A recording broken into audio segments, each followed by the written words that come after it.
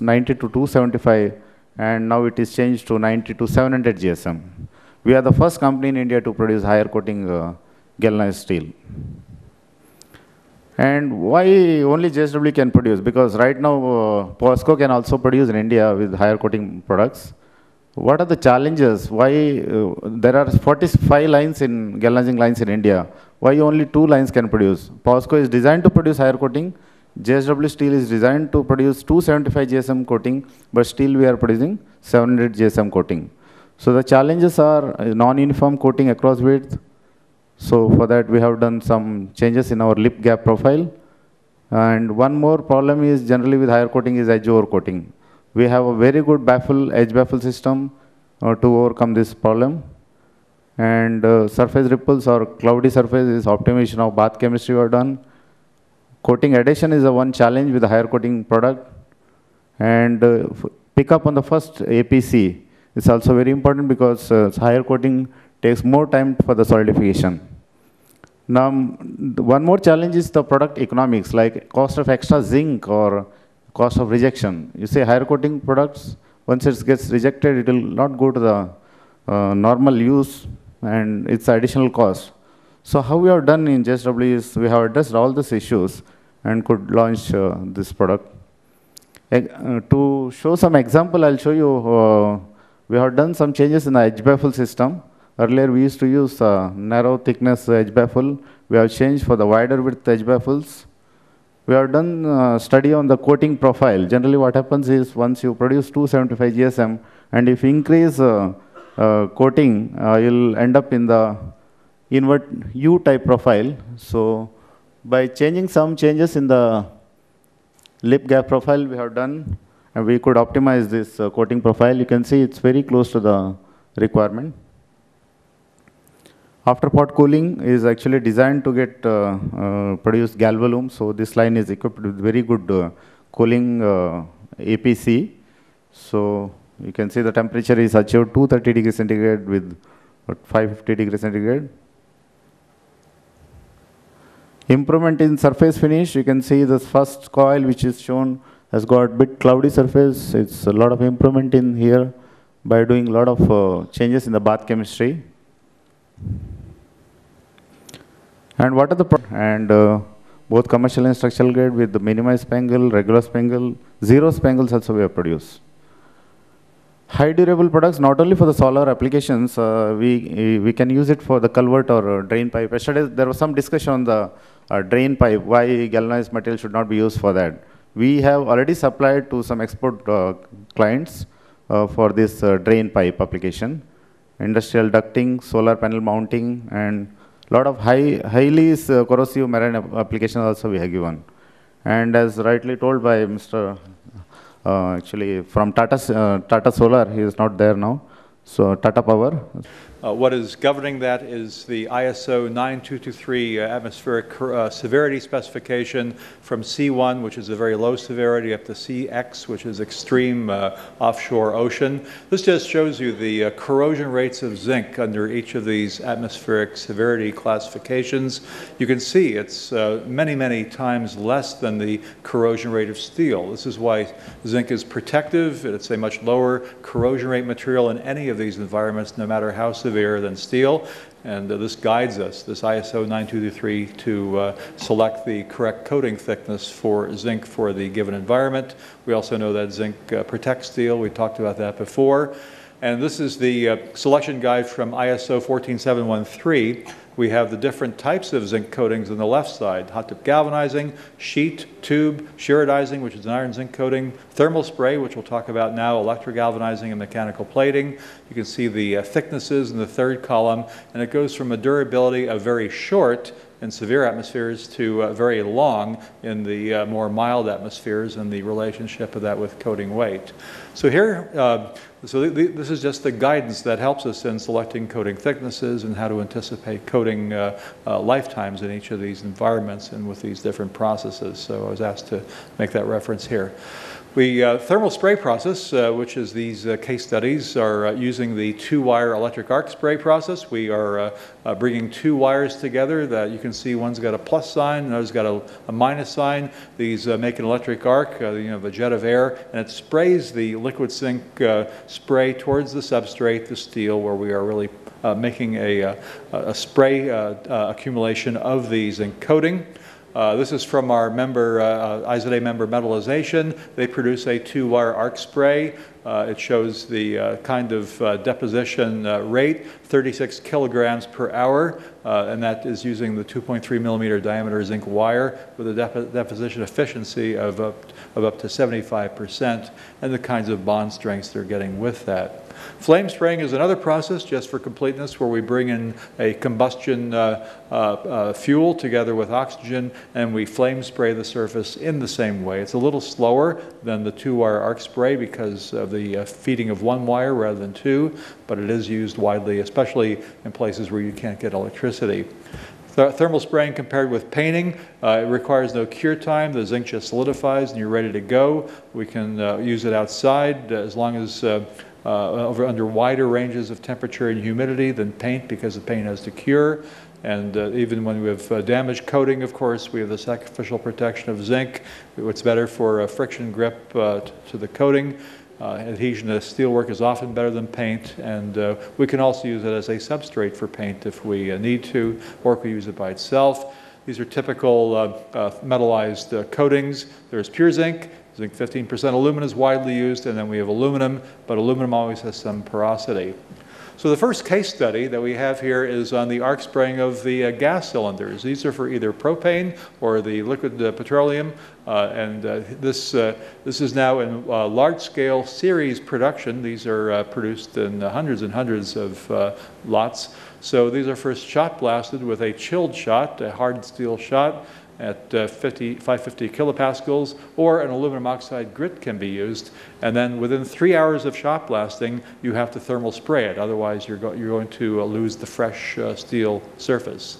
And it's, it's uh, rather typical to spray on between 130 to 250 microns of zinc, uh, and that's on the, on the base, on the bottom, which is which can see some standing water or other conditions. And elsewhere, uh, on the vertical sides of the tank, we can see the, uh, uh, the, the 50 to 200 microns. And that is then top coated with at least two coatings of paint. So many of the uh, gas cylinders you see are protected in this way. So there's just some pictures showing the um, blast cleaning. This is set up as a, uh series production by our uh, case study submitter here, and this shows the hanging of these uh, uh, uh, cylinders onto a paint line they go through for their painting. Second case study they wish to share with us is on the ductile iron pipe, and here this is a spray coating of ductile iron pipe.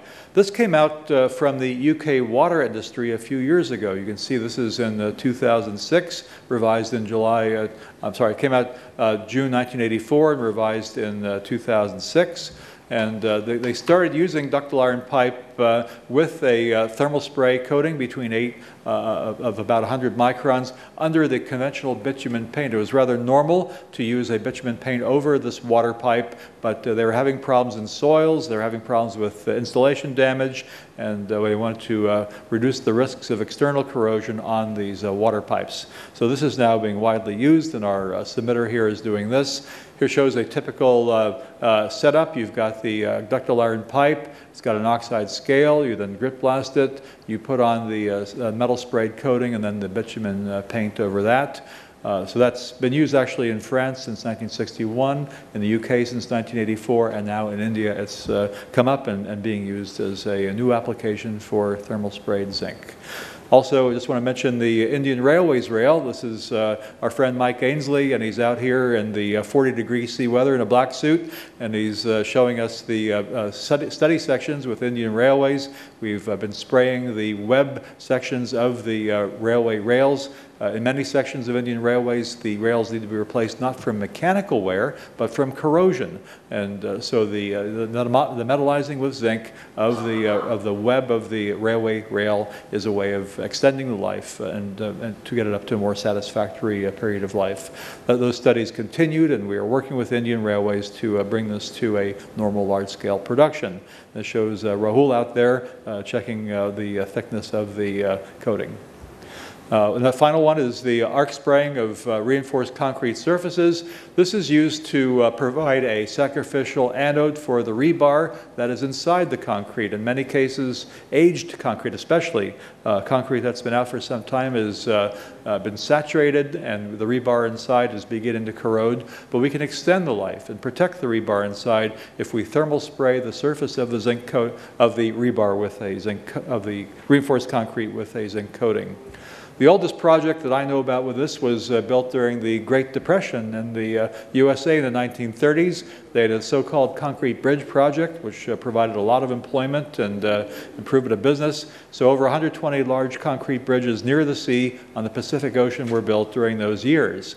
Those uh, eventually aged and needed to be rehabilitated, and many of them have a thermal sprayed zinc coating over the entire concrete structure that you can see here. So it's not the uh, concrete color, but it's actually the gray zinc, and these are expected to serve as anodes to the rebar inside these older bridges for another 25 years. The final one is just about the wind turbine towers. Uh, in many cases, these are offshore. Uh, these are getting thermal sprayed. There's uh, thousands of these out in the German North Sea and other locations, also in China. I've seen thermal spraying of these towers in all of these countries, and it's a very important new application for metallization. So with that, I'll close. We had several case studies that our submitter wanted to bring to our attention. Thank you very much. Uh, perfect timing, Dr. Goodwin. I am now going to hand off the microphone to Dr. Goodwin while they ponder. So what I wanted to do is just spend about 10 minutes on an, an organization that I, cre- I helped create uh, about this time last year. And we called it uh, the Indian Sheet Steel Building Group. And in my opinion, and based on all the work I've done, all the interviews I've seen, I think this is really the key to unlocking uh, galvanized steel growth, particularly in the construction market. So uh, I'm going to skip all this because you've seen this.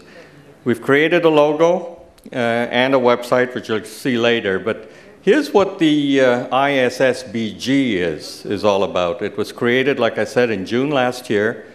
And it's been modeled after a very successful Canadian institute called the Canadian Sheet Steel Building Institute, which has been operating since 1961. I've been associated with the CSSBI for over 20 years, so I know how effective the organization is, how effective it is in dealing with architects, engineers, specifiers, code officials, and, and of course, the public. So the membership is unique. It's made up of uh, steel mills, building product manufacturers, pre-engineered metal building companies, even, even the, the guys that supply the fasteners. So mission is very simple increase the awareness and the use of sheet steel in construction. And then IZA India uh, acts as the secretariat for this organization. So the focus is basically building codes and standards development and uh, also commission some research because there's a lot of engineering designs where we cannot calculate how to particularly transfer loads into the foundation. So we, we undertake research, and it's mainly done through universities. Cheap labor, students have to get a, uh, a, master's degree typically, and they need a short-term project. They're very incentivized to finish on time so they can get their degree. We, of course, get, provide the steel, and we get the results, which we can then implement directly. Uh, the other part of it is to uh, develop technical fact sheets, provide technical support to architects, engineers, and all these people. And we heard earlier in the session the desperate need there is for this type of stuff because we saw architects, we saw consulting engineers asking us in a general way if this information was available. So it's going to be, it's going, I'm very excited about the creation of this thing because I think it's going to solve a lot of our uh, current bottlenecks. Um, we're, uh, the, so IZA India is now uh, a full member of the uh, BIS, Bureau of Indian Standards, the MTD committees uh, three and four. We've written, uh, rewritten the I-277 galvanized standard. It's due to come out uh, shortly. And uh, we're in the group that's developing the new automotive standard for, for automotive grades of galvanized. Um, seems like I'm going backwards again, okay. So one of the things we've done, and we've heard several people say, you know, we don't have any information on how long galvanized or zinc uh, lasts in particular environments. So what we did, a year ago I started um, a, uh, a corrosion test program. The last program that was conducted in India was over 30 years ago, and they can't even find the reports. Uh, so in, we all know that in 30 years, galvanized has changed. Coating control is, is much tighter. Uh, obviously, the composition is different. And so what we've done is uh, we've taken Indian-produced galvanized steel and 55% aluminum zinc-coated steel, and we've, uh, uh, we've exposed them at five different locations within India. And then what we'll do is after one, two, three, and four years, we will remove triplicate samples of, of these uh, panels at each of the five sites. I will then calculate and produce a algorithm that follows the, this, the equation that you see there. And then we will have this information to share with anybody and everybody that uses uh, information on galvanized steel to design particular lifespan structures. So this is a, a, in, a, a really vital part of the whole program. Uh, five product areas involved. Uh, we're talking about steel building products, as we call them. So that's anywhere from roofing, cladding, decking, that sort of thing. Lightweight steel cladding, which is typically used in the agricultural market. Pre-eng buildings, and as well framing. So here's some typical examples. I'm just going to rapidly go through these. Uh, just so that you know, we're talking is steel framing, not, not a big uh, not a big uh, use of it here in India right now, but it's really big and growing. It's 95% of all the commercial uh, high-rise residential and multi-family dwellings are built with uh, steel framing. It's non-combustible, right? So here's typical fact sheets that have already been produced. We had our meeting, our second meeting last Friday in Mumbai. And I shared with the group uh, the fact sheets we've already prepared on solar reflectance, fire and acoustic performance, enhanced paint systems, white rust, transit uh, corrosion, and many more. So we've also got sustainability information developed around steel. We have a great story to tell uh, on all these subjects that you see there. So I just wanted to leave you, uh, here's a, a a, screenshot of the uh, website uh, with the technical library that's currently in place. It's going to be uh, it's going to be built on, obviously, as we go forward, and uh, we've got a great team. So all this is going. Why are we doing all this? Because we think this is the uh, one of the key ways to increase shipments of zinc-coated steels for the construction market. And based on our calculations, you know, there's seven million tons of, of new coated steel shipments uh, when you consider all the, uh, the market segments in play here. Um, so here's, uh, here's uh, I guess, what I'm trying to publicize, which is the, the Indian Sheet Steel Building Group is alive. It's well, it's one year old today, or this month. Um, it's uh, making good progress in developing information. We're starting out on construction and will evolve into the automotive market segment. Membership is open to all you folks that make sheet steel, so it's, it's basically a sheet steel product. And I want you to check out this website because you'll be surprised. Uh, and I think uh, you may find some of the answers uh, that, have, uh, that you've been asking and, and, interested in. So I'll leave this up on the screen.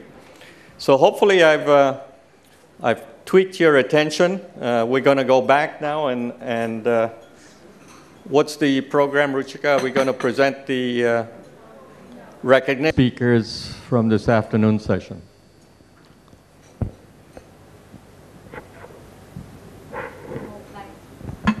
In that case, uh, I'd like to uh, present the memento to Mr. Dinata, who gave us an international perspective and also invited us for the event that's happening in 2016 for all the galvanization industry. So, um, may I request Mr. D'Souza to present the memento?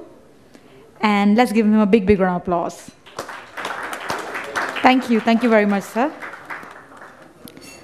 We have the memento for Dr. Frank Good, uh, Goodwin. Sir, thank you so much. Always a delight to hear from you, always a delight to learn from you on the aspect of zinc and its essence. Once again, a big round of applause.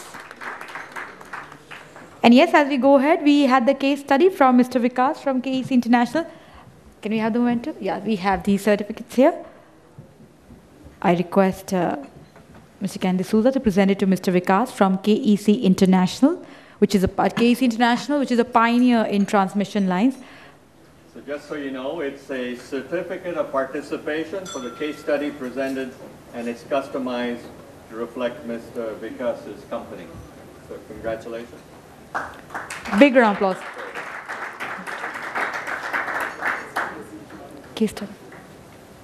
And we have it for Mr. Praveen Kumar Mabian. So thank you. Thank you so much, for Mr. Praveen Kumar from JSW Steel. And so there's, uh, the mementos also need to be presented for the case study presentations. Mr. D'Souza, if you can do the honors. May I request Mr. Vikas and Mr. Praveen to come forward so that uh, we can have a, great photo op moment with you also, sir, there, with Mr. D'Souza. Sir, please come forward. Here we go. Sir, here, here in the beginning, front. May I request uh, Dr. Goodwin and uh, sir, please come forward and join the moment. With and the with the awards, yeah, the mementos. No. Thank you.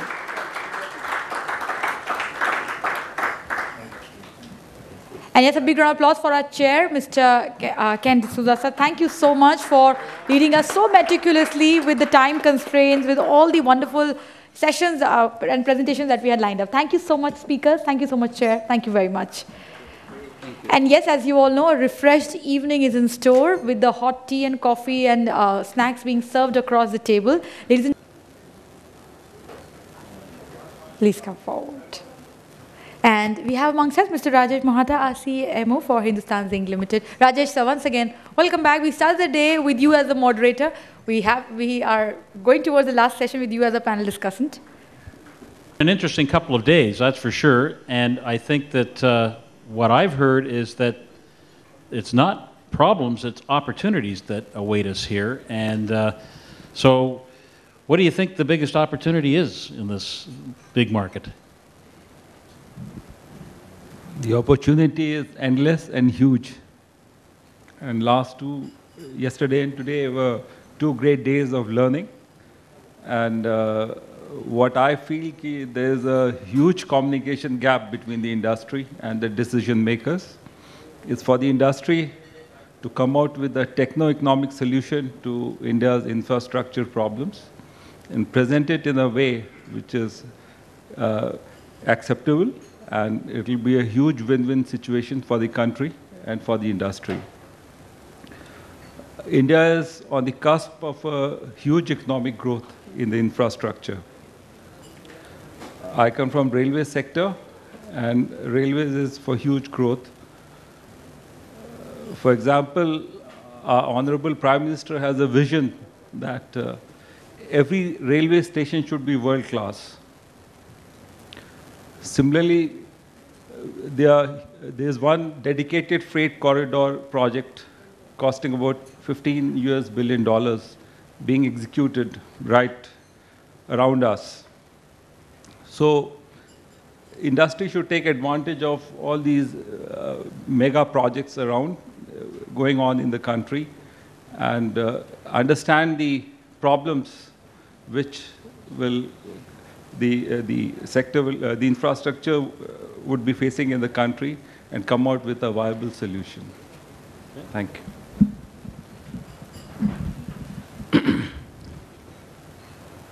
Uh, there is a great opportunity. I am Adya Prasad, Executive Director, Uttam Galva Steel. Uh, there is a great opportunity of uh, galvanizing industries to educate the people and uh, give them the information uh, about what all about galvanizing, its lifespan, life cycle as people are getting awareness, the, the, the consumption, the amount of demand is increasing day by day. We are producing around 750,000 tons of galvanized every year, but we still are in the process of adding further galvalume and color-coated uh, products. if, if I remember, I mean, if I recall 2003, 2004, when India only uh, one or two industries were there for galvanized color coated, they were able to sell hardly 3,000 tons of uh, color coated sheets because there was no awareness in the people.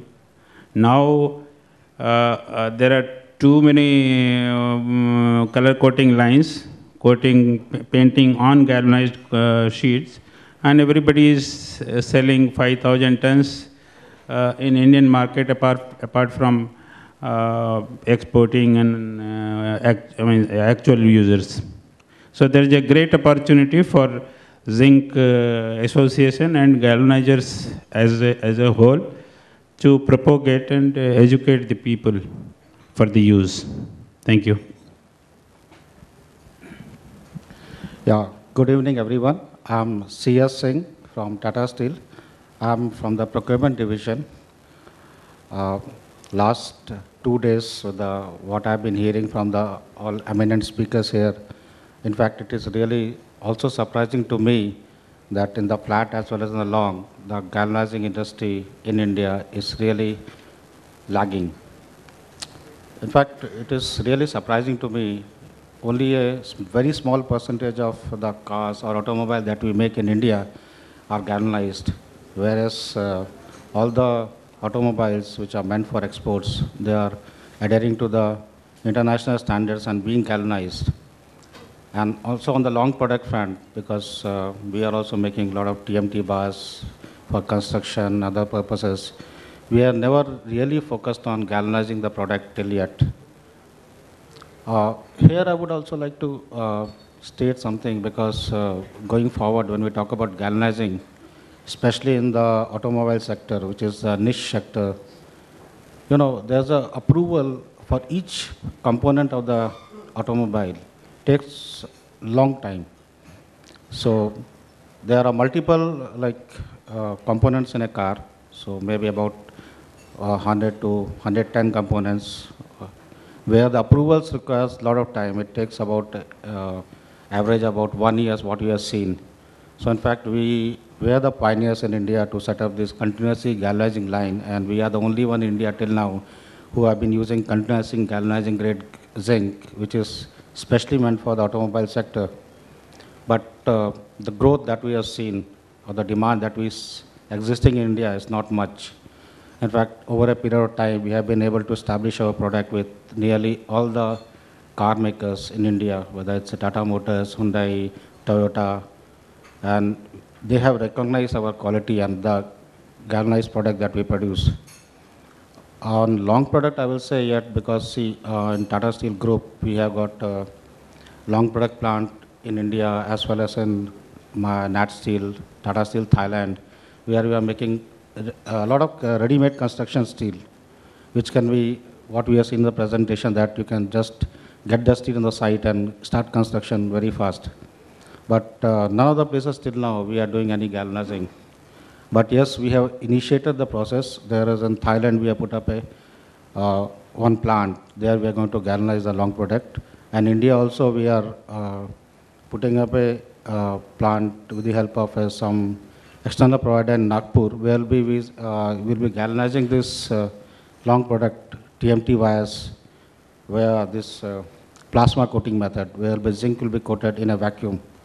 So these are the some product we are introducing in India, and and of course because the kind of interactions and the information that is available, it is very important to tell the people or disseminate the information that galvanizing is better for the product because today also we see uh, like we have seen earlier we had a just a product called Agrico. Our product used to sell in the market, let's say for Fowla is 160 rupees, where a person can get 30 rupees. So we used to tell them, why don't you buy a Tata product? They say, I need employment today immediately. I do not really look for such a long-term commitment of the product. But yes, today going forward, the kind of infrastructure that our country is looking for and the government is committed, we must ensure that the knowledge that resides with us are communicated very clearly to the customers so that they are well aware what is the advantage of using galvanized product compared to other product. But see, we are also, we have done a lot of work on the uh, TMT wire rods for corrosion resistance while alloying copper additions, other things.